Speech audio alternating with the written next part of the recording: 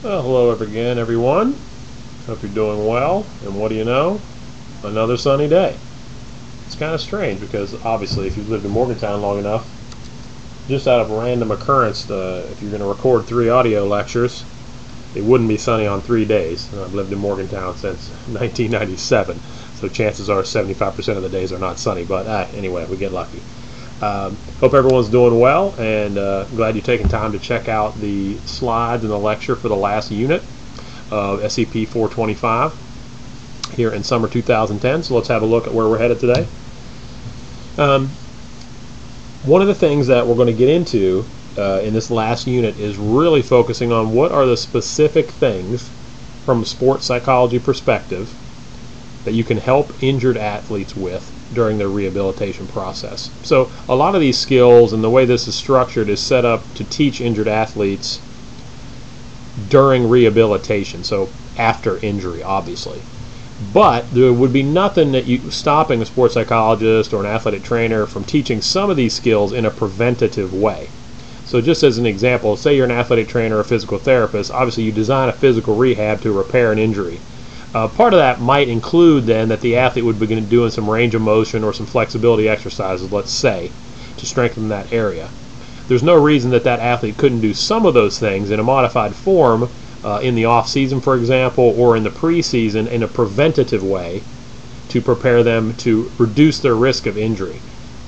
And from your readings, you may have already picked some of that up. Some of these things, if you learn how to relax, you learn how to control your self talk, um, uh, and have positive and realistic thoughts, and you're educated about a lot of the uh, stressors that are coming up, you may actually prevent stress from occurring or prevent injury from occurring as well. So, primarily, these are uh, set up as a treatment, these interventions, but they can also be used in a preventative way. The most common interventions we've already talked about in previous units will be education about the rehab process. Uh, we're going to talk a bit about cognitive interventions to expand on the last unit and that will include uh, changing specific self-talk that you hear out of injured athletes, helping them adjust their expert expectations for how rehabilitation is going to go, and then adjusting and goals and, and uh, dealing with changes to goals that occur through injury. And hopefully through that process, uh, they'll they'll learn how to build confidence and motivation through their things that they control, um, that they become self-regulated, which ultimately is the big goal of sports psychology anyway. We would like athletes to be self regulated. Two other skills that can really help athletes in a variety of contexts, including injury, are relaxation and imagery. And so in this unit, you get an opportunity to check out a couple relaxation uh, and imagery scripts that are posted on eCampus. And you can listen to those as many times as you want. Uh, you can download them to your iPod uh, your phone, whatever you want to do, and check them out and see what you think about them. So for one of your projects that I'll get into at the end of this unit, you're asked to listen to a couple of those and then uh, provide some reaction. Uh, you will find that if you listen to them the first time, just as a not as in a way to try to actually go through it, but just to get familiar with it, and then the second time you may be much more comfortable with the process and much more likely to relax or see what you're supposed to see. So let's have a look at some of these uh, interventions uh, in many cases, and you know, this is information you can relay back to the injured athlete when they're having trouble coping or they think the injury is the worst thing that's ever happened to them. Um, there's a lot of lessons that can be learned through injury that are positives because many times, uh, you know, injured athletes are not able to see the good. They consider injury to be a darker time. It's depressing. It's something they didn't want. It's unfair. You know, all of that stuff. But uh, they can definitely learn patience. They learn more about their body. Uh, they learn and understand their specific issues, you know, genetically, biomechanically. Uh, they do get to bond and meet people and meet other injured athletes, meet athletic trainers, and they hopefully get to improve a weakened area. You know, injury a lot of times, unless it's a freak injury, uh, is a sign of some sort of biomechanical weakness. You know, just to give you a personal example, um, I have very uh, loose ligaments and joints just by, just by genetics. I'm called hypermobile, and I had no clue about that. You know, and I had my early sport career, and I was always rolling my ankle and spraining fingers, and um, and so I was always wondering why am I more injured, or why am I injured more often? Why am I injury prone? Uh, and then I just figured out that was just you know, it's how my genetics are set up. So I, you know, I needed to uh, learn about that. I need to spend more time strengthening uh, those supporting ligaments. I need to wear the appropriate braces to prevent injury. So those are things that I have learned through the injury process that have been helpful to me in preventing future injuries. I certainly wish they had not recurred, but uh, they caused me to be more resourceful. And there's a great quote from you, Taylor, and Taylor, uh, you know, some text chapters that you've read. Um, and they, you know, they, there can be growth through injury. And so the attitude is that, you know, this is not the worst thing ever. Maybe you wish it wouldn't have happened, but let's take it for what it is and let's make it a, a positive experience and things we can learn. And the attitude that athletes take um, can make a huge difference in the experience that they have. Um, and it's our job in sports psychology to hold them accountable to the proper attitudes. Probably our number one thing that we really need to help athletes with is their global attitude, not only related to injury, but in generally how they approach life, that they're not doing it in a way that's not useful to them. So, athletes who have positive experiences through stress in general, and of course injury specifically, uh, would maybe have some of these attitudes towards their experience. They're motivated now. Not necessarily that they love rehab, they want to be injured, but you know what? They're challenged and they're ready to respond. They're also willing to be flexible in their goal setting because they understand that it's probably not a totally predictable path. That, you know, I'm going to increase sets and reps, I'm going to increase minutes, I'm going to get stronger every day, whatever the outcome might be. So they're, they're realistic. They're willing to make a daily a commitment to what is their job in rehabilitation that leads them to have consistent effort. So they're focused on the process. They're less worried about, you know, the day, the exact day they're going to get back. They're just trying to have a quality rehab, and they're putting in consistent effort. That that's a useful attitude that they can take. And so, it, but it may take some work to get them to that. It may take a good relationship with the person. It may take them meeting another athlete that has that attitude. But you know, working with a sports psych professional, uh, you can present them with here's the here's the expectations I have of athletes that I work with you could do that if you're an athletic training student or a certified athletic trainer. You say, here is an attitude of, of athletes that do well in rehab, even with tough injuries. Uh, and so they're not evaluating in this case injury as a happy-go-lucky time, but it's a challenge that they're willing to take, and then that leads them to attack it, as opposed to being a patient and just uh, wasting their energy. Now, this particular graph is just a, kind of a made-up graph, but it's also a useful thing to share with uh, injured athletes. Uh, because you might want to map to them here's how I want you to approach rehabilitation when you start out. Let your intensity be lower, and then as you gain strength and confidence, let's build intensity towards the end of rehab. So this would be something like a one month or a six week rehab.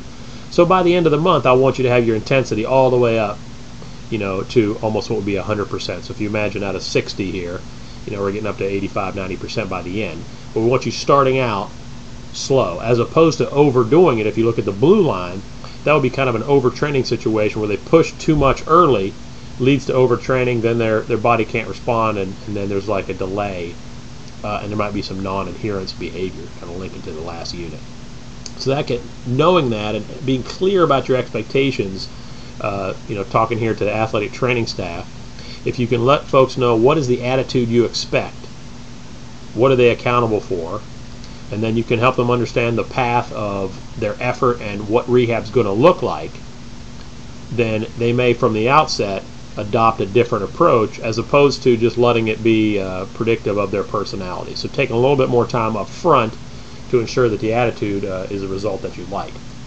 Here's a specific example of uh, a research study that identified some self-talk in athletes. This was done by a colleague of mine uh, from Japan who now works over there who was very interested in the self-talk of injured athletes, and she helped them take their own negative, dysfunctional self-talk, such as the first statement, and then change it to something that was still realistic, that they could believe in their own words, that was more positive. So this one was an injured athlete that had to use crutches. I believe it was an ACL injury. I hate the blisters on my crutches. I hate these things. I hate not being able to walk, not get around on my own. I hate my knee not bending correctly. Um, change that to something more realistic and functional. Even though I don't like my crutches, I know they're helping my knee heal. I also know that in a few weeks I'll probably be able to start walking and bending my knee again. So that, that statement is not, I love crutches. It's something that they can actually believe that simply turns the frustration down enough to get them to actually use the crutches and come show up at rehab. And so that's that's what I mean by realistic, believable self-talk. That is positive, and not I hate this, I hate this, woe is me stuff. Another couple examples.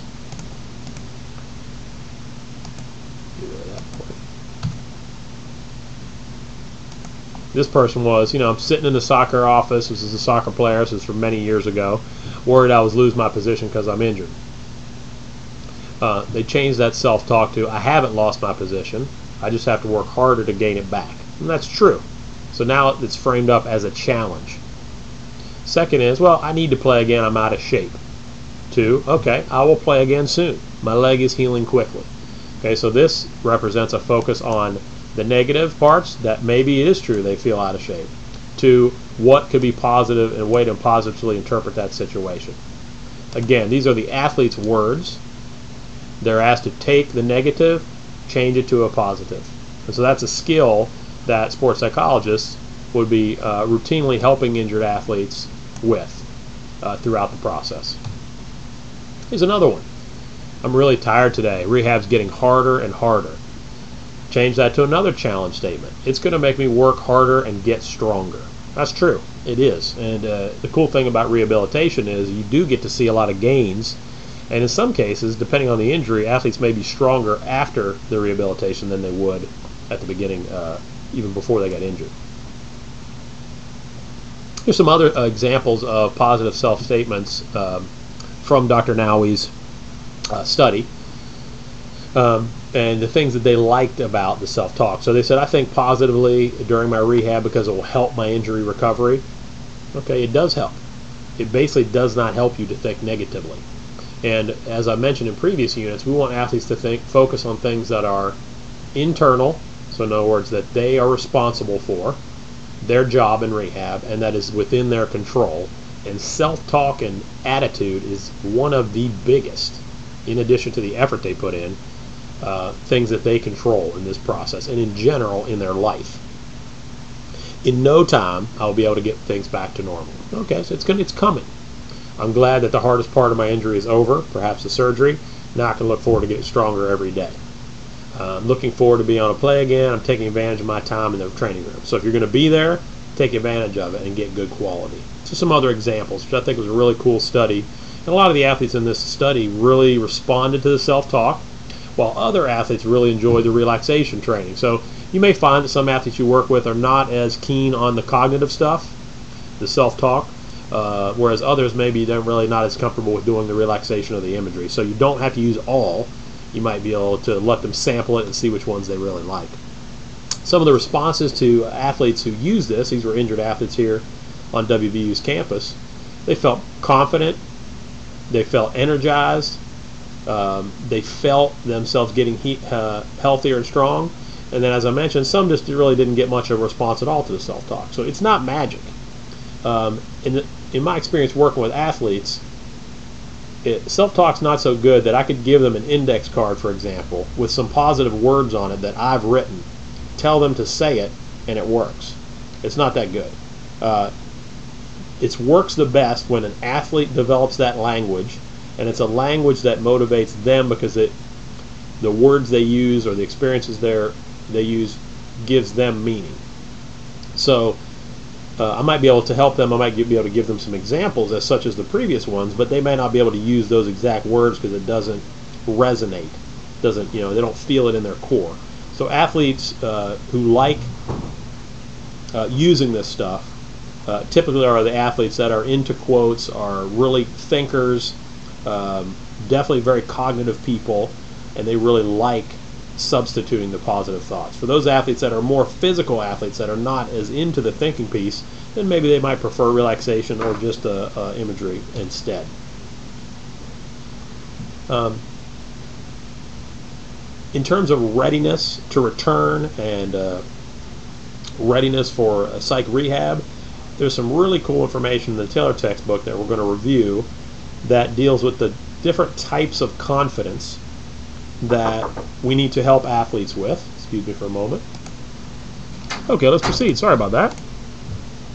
So, according to Taylor, and this is, uh, like I said, this book is really excellent. It's hard to find this book, and that's why I've posted it, um, a lot of the chapters online for this class. But if you do um, search it out on Amazon or half.com, you can find an old copy if you're a sports psycho that's interested in this topic, or if you're an ATC that really wants to get some more specific sports psych information.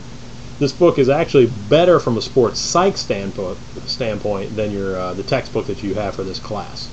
So, initially, when um, an athlete enrolls in rehabilitation, one thing that they need is program confidence, meaning they need to believe in the rehabilitation program uh, that they're being put on. And there's a couple levels to that. They need to have good rapport with that sports medicine professional, trust them, or their surgeon or the doctor, whomever they're working with. They need to, of course, understand the, the exercises, the rest, everything that they're being asked to do. And then perhaps, if they're skeptic, they might need to understand, well, here's the benefit, the rehab efficacy. So the strength, the how much that that rehab program actually works relative to not doing rehab or athletes that really follow it versus those who don't. So if you have any evidence that you can share with them, and that's useful at that time too to help them build that. And the task involved climate, I'm going to explain here in a moment just on the next slide. Let's just have a look at that. We'll come back. So a task involved climate is a perception that if they work hard, that will be reinforced. Uh, it's a helpful cooperative environment uh, that they can ask questions in. They're encouraged to learn. They can make mistakes. They can have a bad day, come back, and not get screamed at. Um, and there's a consistent treatment of all the athletes, regardless if they're a starter, non-starter, revenue, non-revenue. Um, in an ego-involved climate, and uh, there's an example of this uh, out there uh, from Bill Parcells kind of training room climate that there's no mistakes. You don't even want to go to the training room. If you do, uh, it's very non-helpful, and those athletes, uh, there's preferential treatment of those athletes. Now, um, there's some pros and cons of ego-involved climate. Uh, it basically just means that you want to avoid the training room, and uh, really, it's not a place for athletes to be. So unfortunately, it doesn't make the job for the ATC very easy once an athlete is injured or has a serious injury. So ideally, early on, you want to let the athlete know what you expect of them. This is a critical part of the intervention process, and what their job is, uh, and then what your job is as the ATC or the sports psych in terms of helping them to create that environment. Okay, let's click it on back now. Now, adherence confidence is let's show them that they're having progress. So record it, track it, show it visually, whatever you got to do in some sort of logging form. Talked about self-monitoring before as well. And then showing them that their behavior is linked to why they're getting better. Okay, you iced four times, swelling is reduced by 30%. Nice work. Or hey, looks like you really did your uh, your ankle pumps or whatever you know whatever exercise you're having them do. Um, encourage them to use positive self-talk and then catching them if they don't, to help them change that. Um, another useful thing is, is framing up the rehab as their performance now. So a lot of these athletes love to perform, they love to compete. And so one thing you can do is say, listen, this is your performance right now. And I would rate your performance as 5 out of 10. You really need to pick it up. And you need to challenge them and push them um, to put their effort as an athlete into the performance. Moving forward, as they move through rehab, then they need to really get um, confidence physically in their in their body and getting back to the proper running form, throwing form, squatting form, whatever it is that they need to do. Uh, that gets their conditioning back, their strength back, their feel back. Um, during this period, mental skills, such particularly imagery, can be great because you know the mind has no limitations. So even though your body may not be able to execute, for example, a tennis serve or a front two and a half dive, your mind can do it a thousand times if you want. So you can use those images to create the feeling uh, and to also stimulate the neural pathways while your body can't do it. So that you know, building physical confidence is coming after, and then the last stage stage obviously is return to sport, uh, and that's realistic expectations, and then using your mental skills as well to prepare adequately for what that's going to be like, and uh, am I going to be anxious? How am I going to manage that? And, and, other factors that may that may come up at that time.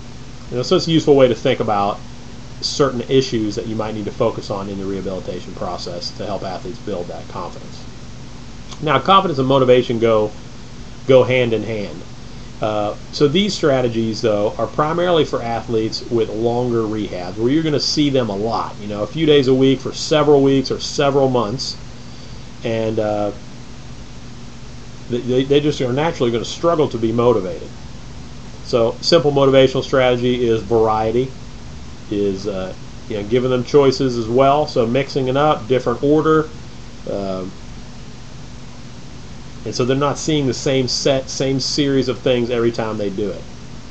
Um, early on, when athletes maybe are not that strong or they're in a lot of pain, uh, make it easy so that they can definitely accomplish it and let them see their progress. So let them monitor it, keep track of it, put it somewhere uh, in the training room, on a wall to show range of motion, uh, in a chart, and then let them take credit for it and talk to them about why they made progress. So help them understand that they're in control of this and they know what they're doing. So that's that control and perceived competence element that when something positive happens, attribute it to the athlete's behavior. Hey, you've been getting in here, you've been working hard. I can tell you're taking your uh, doing your stuff at home, and you're doing a good job with that.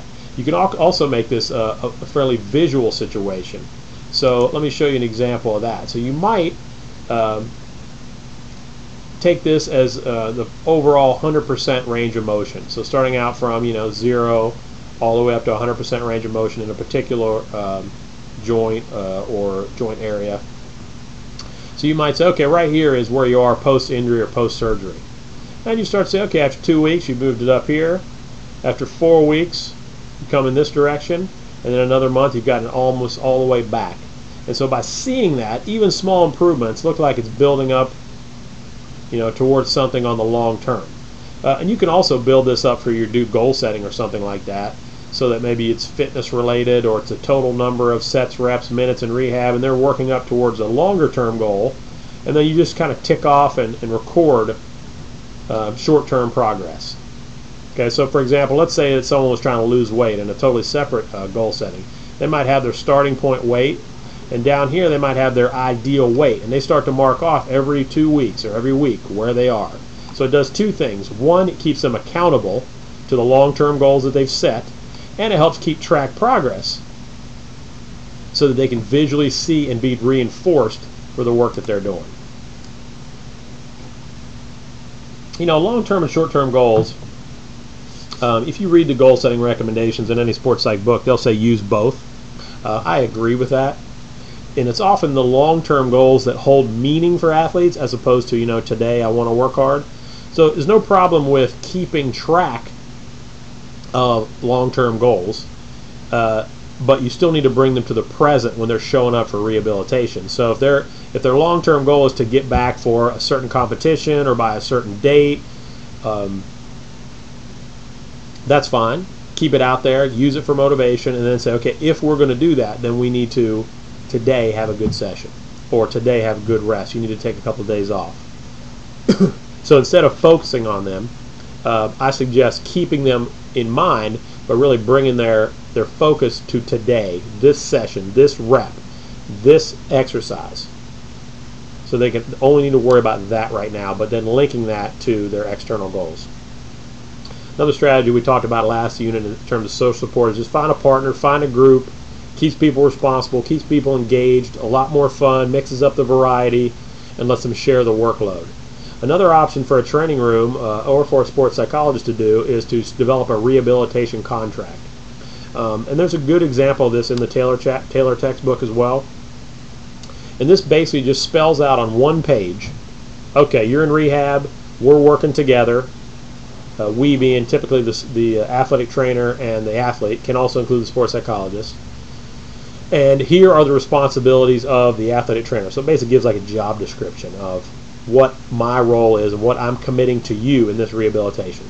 And then it has the athlete's responsibilities to what they're committing to, such as going to maintain a positive attitude, show up on time, be ready to rehabilitate, ask questions when necessary, those type of things. And then both parties sign it, both parties get a copy, and they go home. So it really clarifies from the front end the expectations that we've been, have been talking about uh, in this unit. Um, in terms of evaluating self-talk, I want to spend a little bit more time uh, on that in the next few slides. And when you're listening to athletes self-talk, sometimes negative self-talk can be a good thing. So we don't want to send the message as sports psychology professionals that you should always think positively and happy-go-lucky and all that type of stuff. You should be optimistic in the sense that you should believe most good things are going to happen if you're working hard. See, optimism is a is a is a fail-safe, but not unrealistic optimism, not narcissism. Okay, so we don't want unnecessary um, positive or unsubstantiated positive. Now, on the same side of that, sometimes frustration and negative self-talk that can fire an athlete up, that can motivate, can work. So they might get frustrated with themselves, they might get upset, but they can use that to fuel their workouts. Like they get so frustrated that their their uh, their injury is sore that they really want to go work out and they really want to go rehab it right now because they're sick of it. They're sick of uh, uh, of being uh, injured. And so as long as they don't overdo it, that can really work. Now, the give up self-talk when they're really depressed, they're helpless, they're dwelling on and they can't get off of the negative aspects of the injury, many times which are out of their control, it really just creates avoidance, uh, anxiety, fear. And so we want to get them to change that, or we need to ignore it as the professional and, and, and uh, really just model a different language. So if an athlete comes to me with a catastrophic explanation of their two-week ankle injury, uh, at some point I might go, you know, you'll be back in no time. I really don't understand why you're why you're seeing it as a catastrophe. I, I, think you should be able to handle it pretty easily. And so I might really try to challenge the, the way they're interpreting the injury to encourage them to have some sort of more frustration with it as opposed to just depression and negativity. Because you can use frustration, you can use impatience, but once you get to depression and helplessness, there's not a lot of fuel uh, in that particular self-talk. Let's take a couple examples of uh, how our self-talk and how we learn uh, to frame that up. So in the first case, you know, you shouldn't be so upset. This is not a serious injury. And that kind of talks down to the athlete. Has a very negative tone. Instead of, you know what, it's natural to be upset. It's fine. But you got to turn this energy into motivation. So it's fine to be frustrated, but if you sit in it too long, it's a waste of energy. Another way that has a negative tone. You knew that injury is a part of sport. You know that. It's, you know, this is going to happen. Fact of the matter. Well, hey, you knew there was a chance, but we need to get you focused back on your rehab plans. Okay, that's irrelevant now that it was unlucky or or whatever. And the tone with which you deliver this information can really have an impact on their attitude. You know, how about well, I'll never get to the form I had before. So this is an athlete's self-talk. Well, there's every reason you will, as long as you commit to rehab. This is just a setback. So instead of I'll never, it is well, it's going to be work. This is a setback, but you know what? I am going to get back. So it's a change from passive I'll never return to active and attack. Now, why am I all the one who gets screwed? This is so unlucky. This is always me. Why me, me, me, me? You know, hey, injuries are random. Hard to explain why it occurred. Let's make the best of it and return stronger. I've seen others do it. I don't know why you can't do it. Okay, very different. On this side of the scale, you've got a passive attitude, leads an athlete to not really want to put a lot of work into the situation. On this side, you have athletes accepting responsibility, ready to work. Okay, that's what we're looking for, either as the ATC or as a sports psych consultant. So, is everything attitude? Is it all psychology? No, definitely not. Hopefully you haven't taken that message from this class. It's all about injury history, personality, coping skills, all this stuff. Okay? Psych of injury is complicated. It's an interaction of personal and situational factors. And the, the each intervention when you're working with an injured athlete begins with the individual and your relationship with this person. Okay, I want to stress this point to the sports psych folks um, and also to the ATCs here at the bottom. But all interventions begin with the individual you're working with, that person who has an injury, not the injured athlete. Okay, the person with the injury. And your relationship with that person. So I could be the best sports psychologist, you know, know everything in the textbooks, know every possible technique. But if I that athlete doesn't resonate with me and doesn't trust me, my knowledge is useless.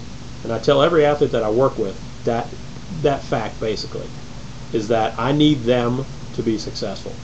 Because if I come across as a sports psychologist as a person who has the answers, that really means then that the athlete doesn't work and that I can fix them. That's not true. They have to fix them. themselves, but I'm not going to fix them. Okay, but through you know together we can do it uh, pretty effectively. Okay, now transitioning into the last piece here of the intervention will be some different relaxation techniques, and uh, I took some time to upload some. Uh, what are what are some of my favorite ones on the eCampus site? So I really encourage you to spend some time checking these out and and listen to them and really try them out. You know, because if you don't like them, that's fine.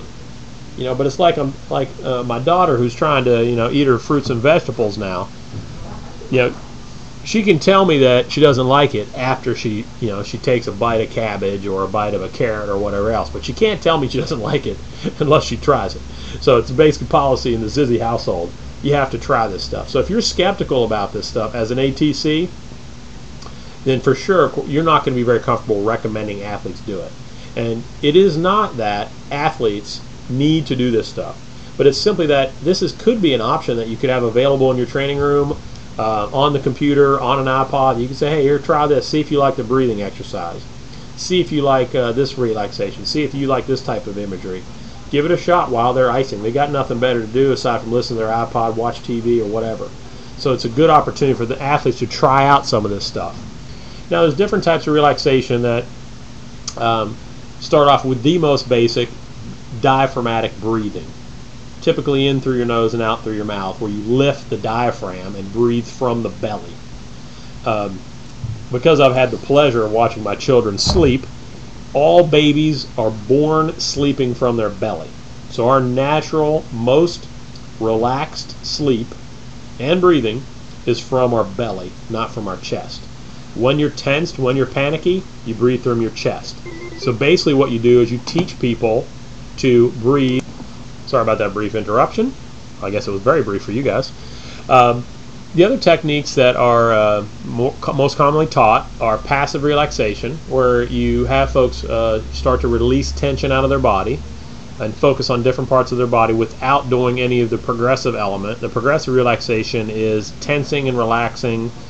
Um, each piece of your body and doing it in a very structured uh, way.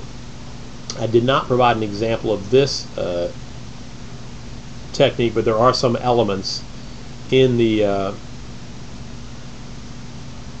the healing imagery exercise on eCampus that will let you uh, you know practice some of this stuff. So the progressive relaxation, if you uh, want to follow along just for a minute, you might imagine this as um, let's use your uh, your right arm for example. So hold your right arm out in front of you just for a moment, and uh, and just clench your fist so that you've got maybe about 50% tension in your arm. And just hold it there and and feel the the tension in your muscles, in your hand, and your forearm, and your and your bicep, maybe a little bit in your shoulder. Just hold it there for a second. So one of the elements of progressive relaxation is to just be aware of tension. Then I want you to uh, increase that tension to about 100%. Really make it tense. So you've got all your muscles firing there. And hold that there for a second. Just notice how tense it is. Then take a big deep breath in through your nose, real slowly. Maybe count to four. And when you're ready release that breath, go ahead and let it all out. And then let go of your arm and let all the tension out of that. So when you do that process, you may notice that your arm is, you know, more relaxed now, and certainly than it was before when you were tensing it. And progressive relaxation simply has you repeat that process several times for each body part. And you start to become aware of tension, you start to learn how to relax, and of course you're learning a breathing method throughout that. So there's nothing really psychological about any of these techniques.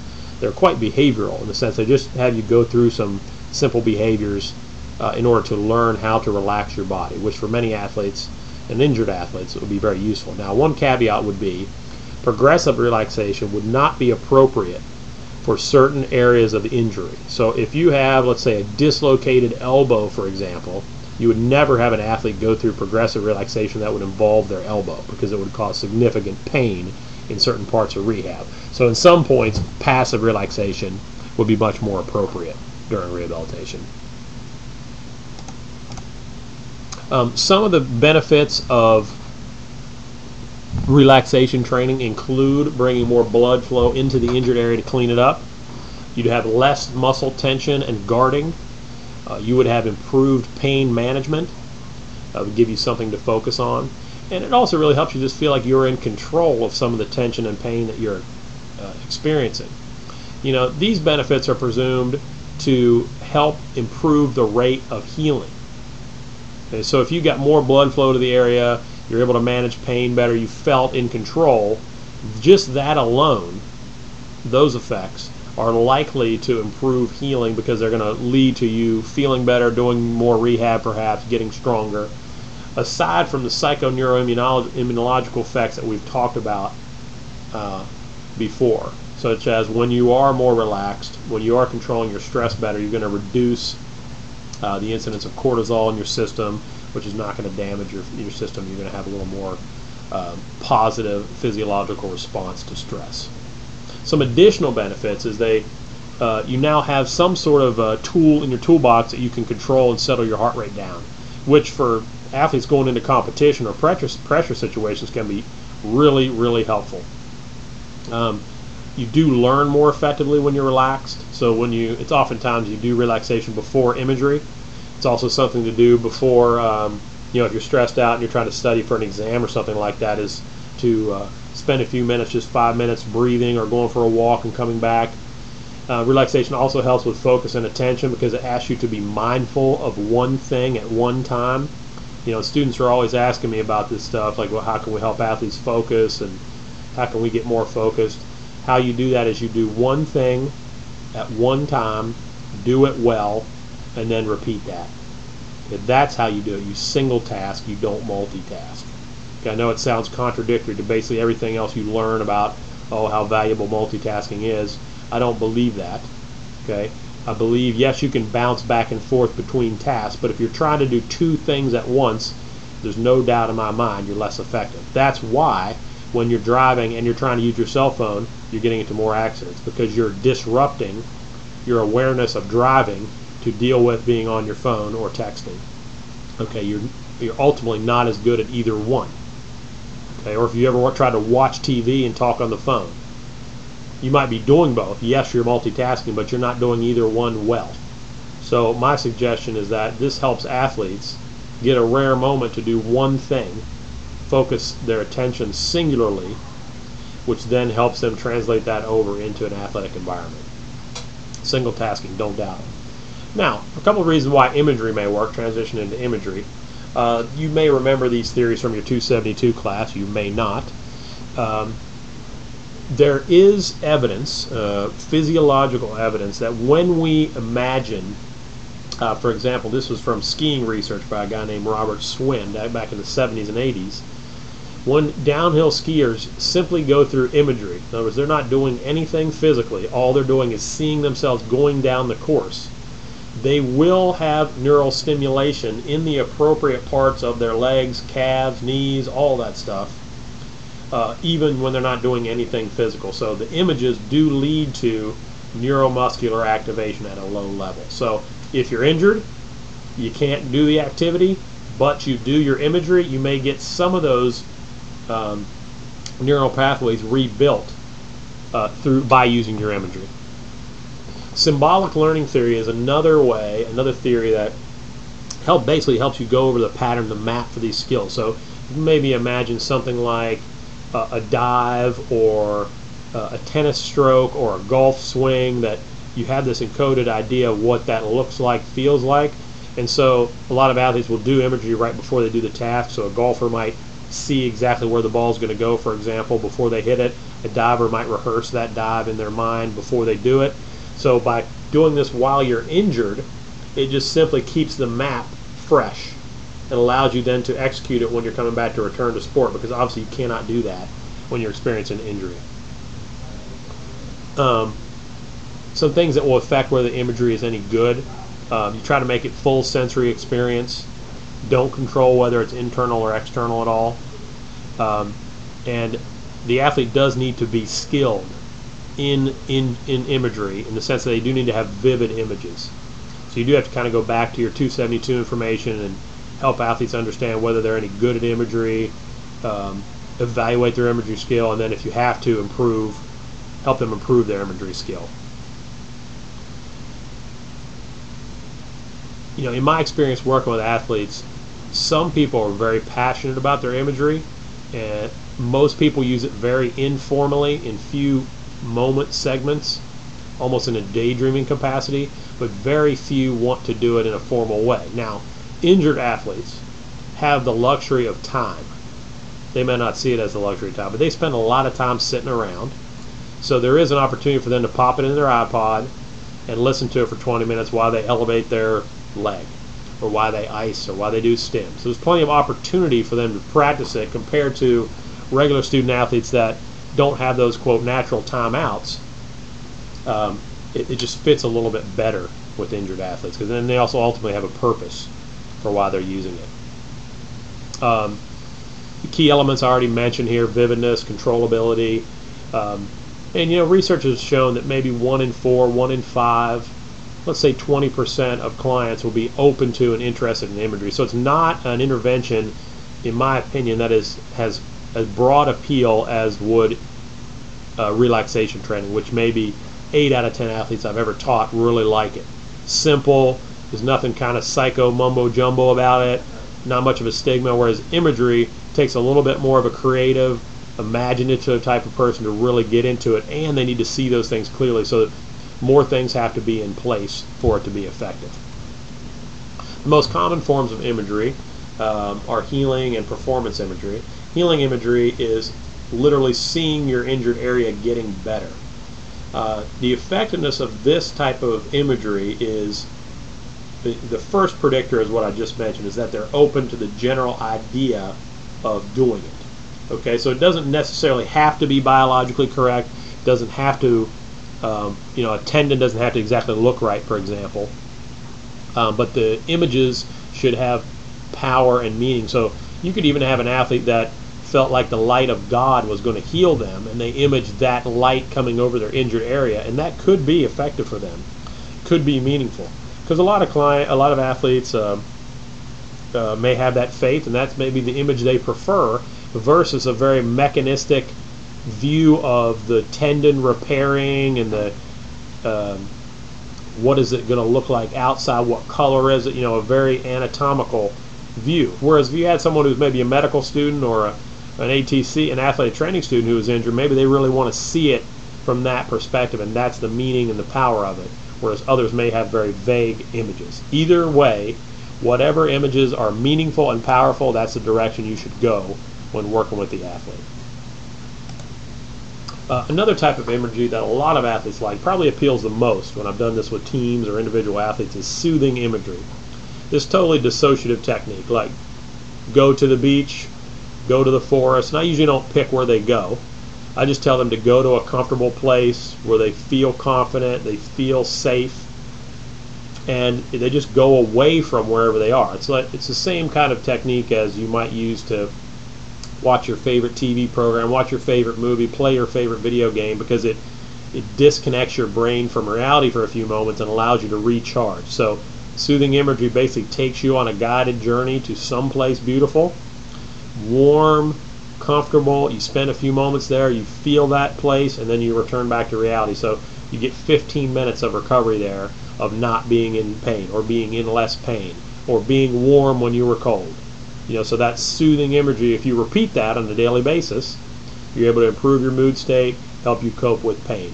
A lot of athletes really just like the break that this provides, uh, and you know, playing around with being somewhere at the beach or somewhere else.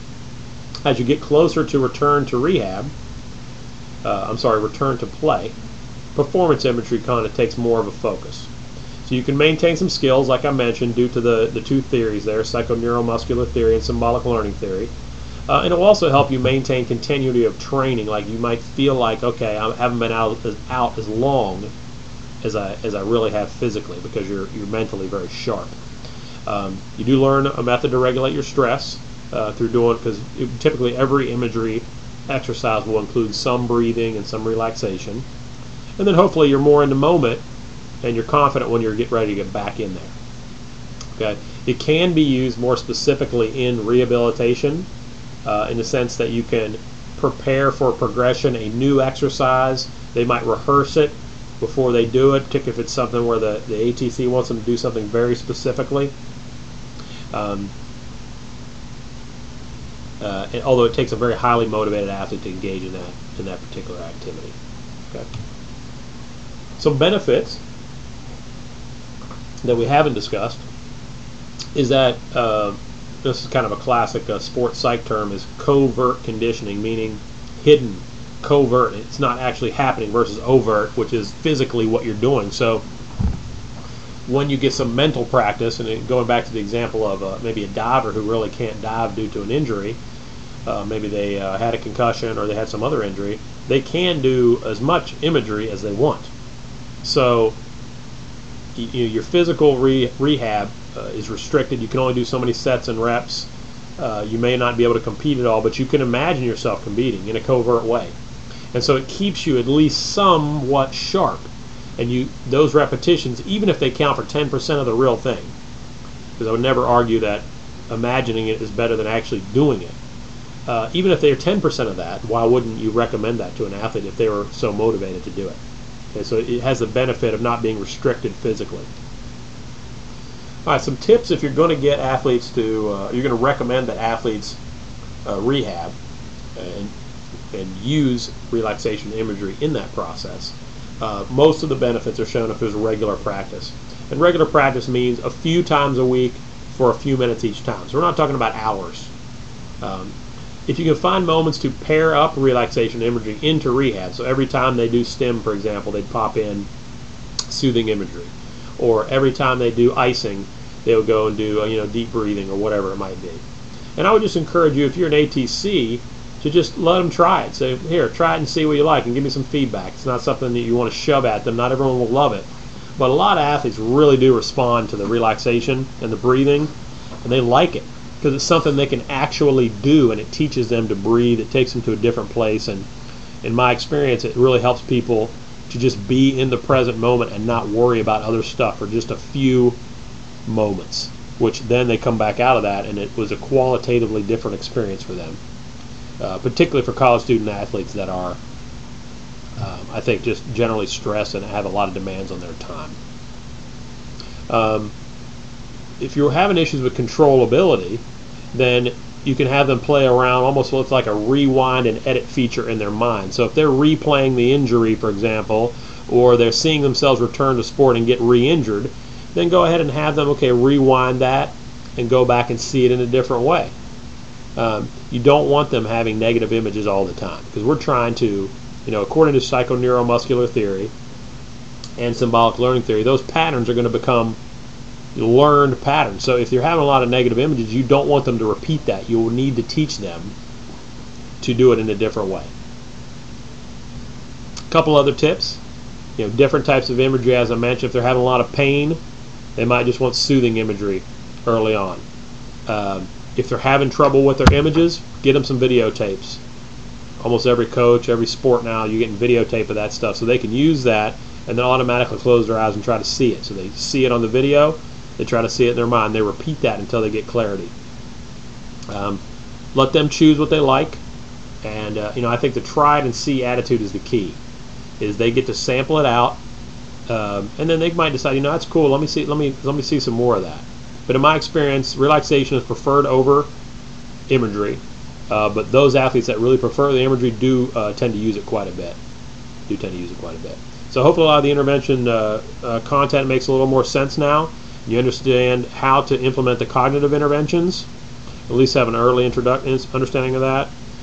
Work on confidence with athletes and motivation and then also deal with relaxation and imagery. And I hope that you're able to get some experience with that and really take the time.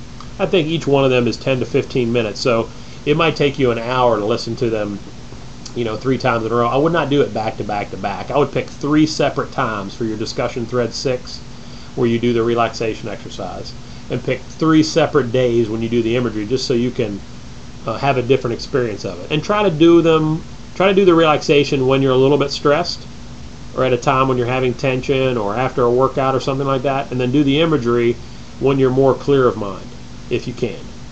Okay, now I want to spend just a couple minutes on the final project here so you understand what I'm looking here. You need to pick um, one of the, uh, whoops, excuse me, one of the topics for your handout based on the mental skills in this particular unit. Then you're going to develop a one-page handout for an injured athlete on that topic. Okay, so you might pick, for example, relaxation training for a diver or something of that nature. It's very important that you use your own words to develop this handout and you do not plagiarize from other source, including your textbook, which is a problem I've had with students doing this type of assignment in the past. So the, the handout should be written in the terms that an athlete can understand. So you may have to translate something from your textbook or some article you find. Do not go online, find a goal setting handout, and then copy and paste the bullets into your handout. It's obviously very easy for me to figure that stuff out. I've been doing this assignment for a long time. If you have some, some concerns about this and you're not sure how to deal with it, then you need to let me know. You can use sources and you can cite sources if you want. But if you're going to cite a source, let's say online you find something from mindtools.com, which is a common website for a bunch of sports psych stuff, and they had some tips for relaxation training. Those should not be your tips. You need to reword those. You need to find a different way to structure them. You need to you can use the content, you just simply can't copy and paste that content.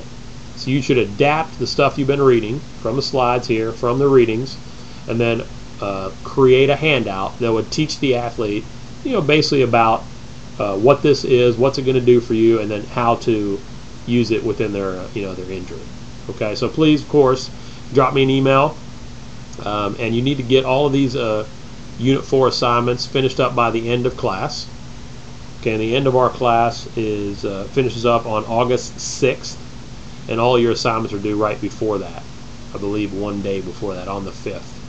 Uh, but I do encourage you to check uh, on eCampus for the official ones. I don't have it listed here on this slide, but all the official due dates are listed on uh, eCampus.